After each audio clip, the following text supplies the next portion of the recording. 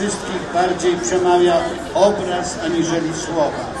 Więc to, co widzimy na tych zdjęciach, jest świadectwem tego człowieka, który rzeczywiście w swoim zawołaniu totus tuus, czyli cały Twój Matko Najświętsza, y, wyraził w sposobie bycia, mówienia, świadectwa.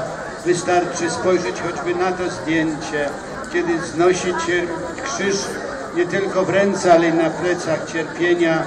Y, Pozdrawia nas i z miłością życzy nam wszystkiego najlepszego.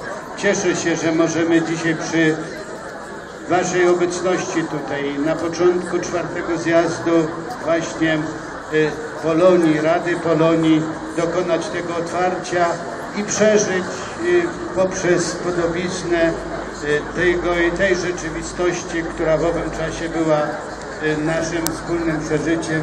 Dzisiaj odczuć ponownie te przeżycia, podziękować Bogu za Jego posłannictwo w świecie i w Kościele i prosić Boga, ażeby był dla nas na pewno wyznacznikiem i wzorem wierności ideałom chrześcijańskim, umiłowania ojczyzny, szacunku dla godności każdego człowieka i obrony praw wszystkich tych, o których nikt nie pamięta albo nikt ich nie broni.